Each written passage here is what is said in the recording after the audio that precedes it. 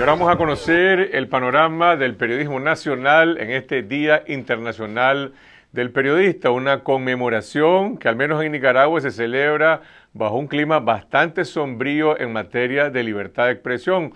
Por un lado, hay una tendencia marcada a la concentración de la propiedad de medios de comunicación en, el, en torno al sector oficial, particularmente el duopolio televisivo que controla nueve de los diez canales que existen en el país en televisión abierta.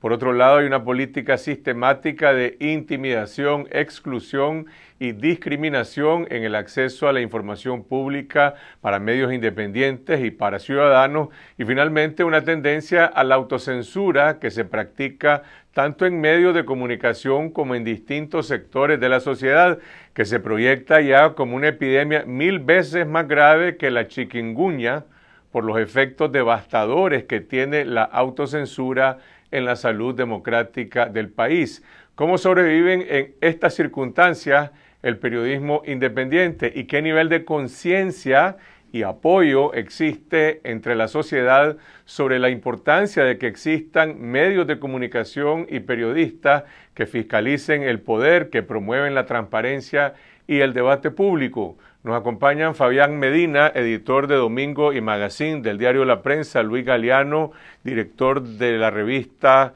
Café con Voz, Alfonso Malespín, periodista, eh, director también del programa Actores de Cambio. Buenas noches, Alfonso, Luis, Fabián, gracias por estar con nosotros. ¿Cómo se vive desde tu experiencia eh, este, estos cambios, este clima que se vive en el país para enfrentar las dificultades que tienen hoy los periodistas independientes? ¿Hay conciencia en la sociedad de lo que se está perdiendo o de los riesgos que se pierdan más espacios de periodismo abierto a la gente? Mira, eh, yo creo que uno de los grandes retrocesos que hemos tenido nosotros eh, como periodistas y como sociedad es que todas las actividades, o por lo menos la gran mayoría de las actividades que están ocurriendo en este país, se están viendo desde, desde, un crisol político. O sea, todo se analiza desde un crisol político y en esa medida, dependiendo con quién yo me identifique, justifico ciertas acciones.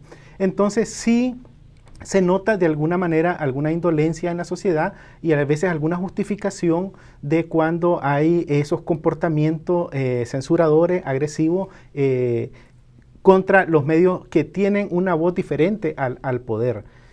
Eh, pero sí, también hay otro sector de la sociedad que es bastante importante, bastante fuerte, que está demandándonos a nosotros precisamente dar esa información, eh, mostrar esa parte de la sociedad de Nicaragua que no son capaces de darlo otros porque quisieran que las ignorara. Entonces, tenemos un doble reto nosotros los, periodistas independientes, los medios independientes que como vos decís, eh, cada vez somos menos porque hemos sido acorralados por, a través de varias maniobras. Por un lado, eh, mantener los niveles de profesionalidad que nos puedan hacer creíbles y incisivos en la sociedad e incidentes. Y por el otro lado, eh, mantener esa voz viva, esa última trinchera que tenemos en los medios de información para que hechos que suceden en la sociedad no pasen inadvertidos o queden enterrados totalmente como quisiera poder. Te pongo el ejemplo, eh, lo del bombazo en fantasma, por ejemplo, los medios oficialistas son incapaces de tocarlo, de hablar incluso sobre el tema. Este hecho del miércoles de protesta, si vos viste, ese miércoles sucedió un hecho importante en la sociedad y no, ese miércoles no se pronunció ni un solo medio oficialista. Y lo hicieron hasta cuando ya había una decisión del Estado de que sale la policía hablando sobre el tema, ya empiezan todos a hablar sobre el tema a coro. ¿Cómo piensan ustedes que se ubica la gente en relación a la prensa independiente y los periodistas en relación a la sociedad. Hoy es Día Internacional del Periodista, la gente dice, bueno, eso es un asunto de los periodistas o hay conciencia en el país de que la libertad de expresión es una responsabilidad de todos, es un derecho constitucional que nos compete a todos. Yo creo que las felicidades están, hoy, hoy, hoy, llueven, pues han llovido de parte de, diferentes sectores a los medios de comunicación, hay pasteles, hay hay correos electrónicos, hay chat, ¿verdad? Pero creo que falta conciencia de lo que se está perdiendo. Una sociedad que no tiene referencia eh, en sus o, o, que no tiene la posibilidad de hacer contrastes de su realidad, es una, sociedad que se está construyendo de una manera distorsionada. Hasta ahora, si vos te fijas, eh, eh, esa cantidad de medios de comunicación que están en medios de, perdón, en manos de la, de la familia presidencial o que son afines al gobierno, controlados por el gobierno, quieren presentarte un país en el que todo marcha de manera adecuada, en el que todo va bien, va bonito, y que no quiere que haya información que contraste realidades. Y cuando vos tenés nada más un perfil de la noticia o una, una parte de la noticia enfocada desde esos medios que tienen una gran, una gran capacidad de alcance, lógicamente que la sociedad va, construyéndose mal, va creyendo que efectivamente vamos caminando eh, por el camino correcto cuando hay cosas que son muy delicadas que están siendo afectadas, como por ejemplo la libertad de expresión, el Estado de Derecho, el respeto a la Constitución, el respeto a las leyes, a las normas jurídicas. Se está tratando de alguna manera como de eh, normalizar las cosas que no son correctas, lo ilegal se está volviendo común, y de pronto miras que primero se dan los pasos ilegales y después las leyes se quieren adecuar a esas ilegalidades.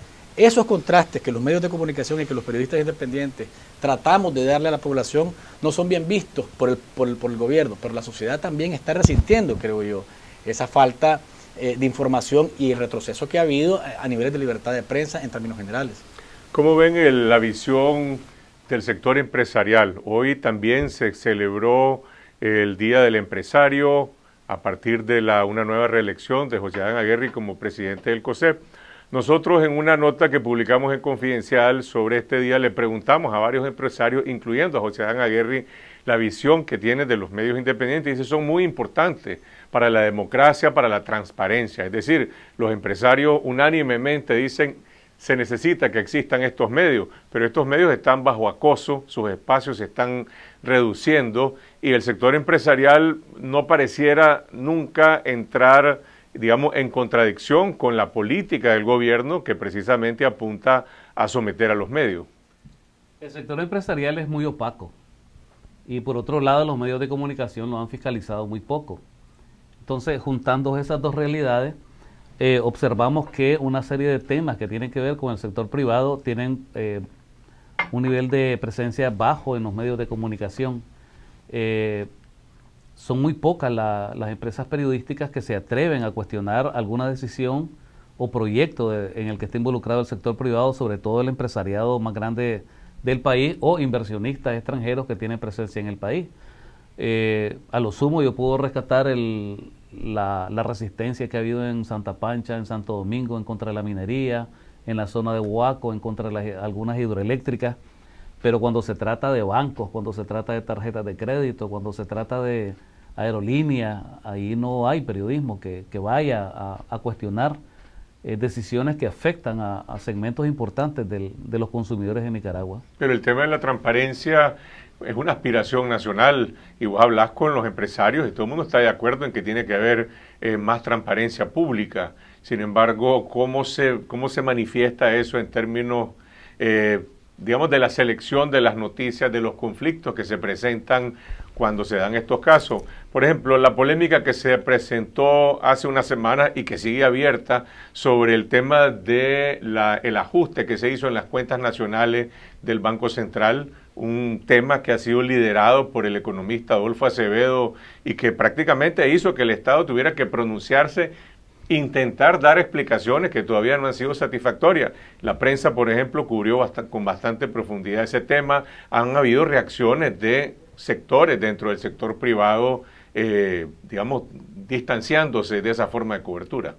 Mira, lo que sucede es que ahorita lo, el, la prensa nacional, hablando en la generalidad de los medios de comunicación de todos los tipos, tenemos como varias batallas que dar. O sea, eh, sí, eh, yo estoy de acuerdo con Alfonso Malespín que falta fiscalización en, los grandes empresarios, falta eh, fiscalización en otros comportamientos de la sociedad civil que tenemos nosotros, los cuales son criticables. Incluso fiscalizarnos a nosotros mismos como medios de comunicación, nuestro comportamiento ante la sociedad pero también estamos opacados, estamos eh, abundados, digamos, por un Estado que lo cubre todo. Cubre o sea, todos los resquicios está un Estado autoritario que está controlando todos los grandes flujos de información y que es la primera, digamos, la, primera, el primer frente que tenemos los periodistas para, vencer. Entonces, en ese caso de las cuentas nacionales, o sea, estamos hablando de, de información primaria necesaria para cualquier análisis de tipo económico que se vaya a hacer sobre el país. Y no solo eso, no solo lo que hagamos nosotros los medios o lo que hagan los expertos aquí, sino que son los la información que toman en cuenta otros organismos internacionales que generalmente acostumbran medir y colocar en indicadores a, diferentes países. Entonces estamos hablando de una materia bien sensible que, información equivocada, al incluir información equivocada, se puede llegar a resultados muy lamentables eh, posterior. Entonces, obviamente es una responsabilidad de todos nosotros, pero aquí se vio como una cosa política, como una cosa de enfrentamiento, de opositores incluso. Se habló incluso que esto era estrategia electoral. O sea, todo se reduce a un simplismo político, se descalifica con, esto, es, esto es la oposición que quiere molestar al gobierno cuando debería ser el primer agradecido en ese debate que se generó sobre las cuentas nacionales. Y eso podría llevarnos también al otro caso que está en la palestra en estos días, que tiene que ver con el pistolero eh, asociado a los grupos del FCLN que disparó contra manifestantes el miércoles pasado. Ahora algunos medios de comunicación oficiales y algunos analistas del sector oficial, basados en las declaraciones que esta persona brindó, eh, pretendiendo inculpar al CEPREP, al centro que lo sacó de la violencia, están desviando la atención sobre el asunto de fondo. Es decir, aquí, ¿quién generó violencia? Eh, ¿qué responsabilidad tiene la policía en relación con este caso?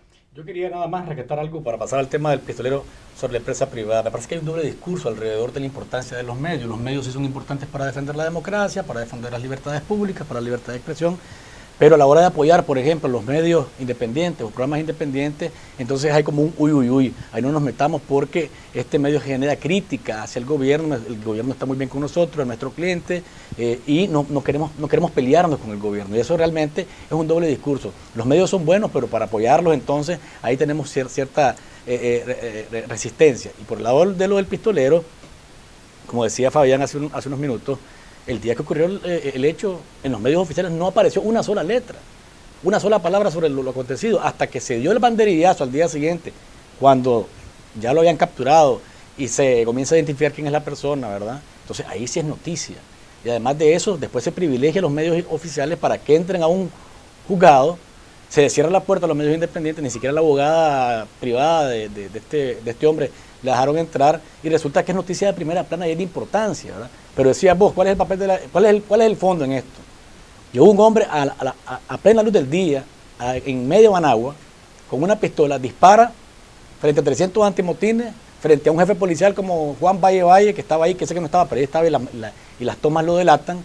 Y al final lo que estamos viendo de repente, un cinismo de, parte de todos los sectores ligados al gobierno, Policía Nacional, la comisionada granera dice que no hay opacidad de la policía cuando dice y justifica, cada policía tiene un rol, los antimotines resguardar el Consejo Supremo Electoral, eh, los, policías, los policías de tránsito dar vía y los otros que después lo agarraron, perdóname, la policía en flagrante delito ve a alguien cometiendo un flagrante delito y tiene que detenerlo inmediatamente. Aquí no hay justificación.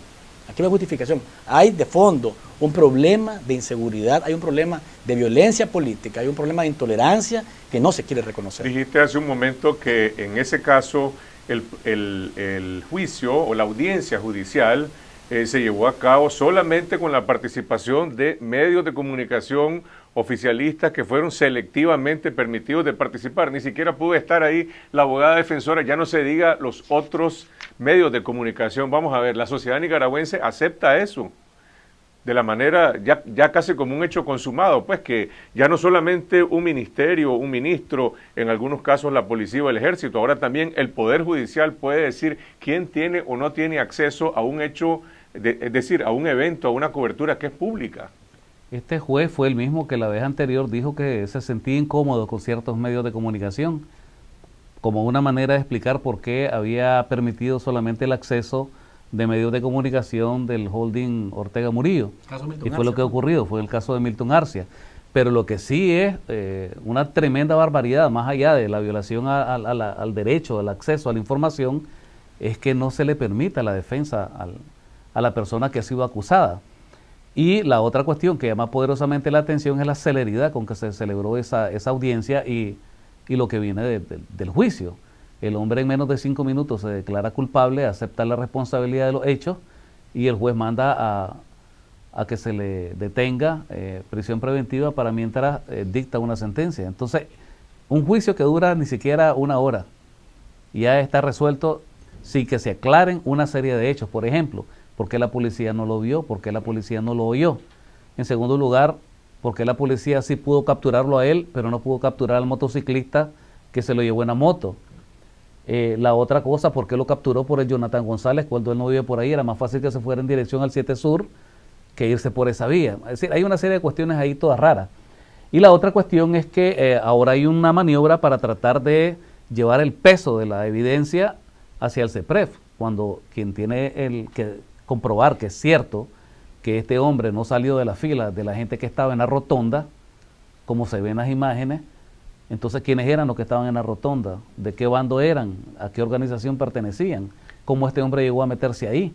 Toda esta cuestión la, la ciudadanía necesita saberla y los medios necesitan acceso a toda esa información. ¿Cómo valoran ustedes el clima de apertura de la población hacia los medios. Sabemos que el sector público tiene una instrucción tajante, es decir, no puede hablar con un medio independiente porque le puede costar el trabajo, lo cual es una, es una barbaridad. Pero vamos, un ciudadano, una persona que, que ve acontecimientos como esos que ocurrieron, hay autocensura en la población, tiene miedo de hablar con los medios de comunicación y hablemos de diferentes sectores de la población. Mira, antes de eso, eh, sobre lo, lo, mismo que decía eh, Alfonso Malespín, eh, lo que se percibe aquí en todo esto, con esos comportamientos, es una estrategia gobeliana eh, en el manejo de la información, en el cual la repetición de ciertos comportamientos abusivos lleva a su eh, aceptación, ya porque de tanto que se repiten ya se vuelven aceptables por la sociedad.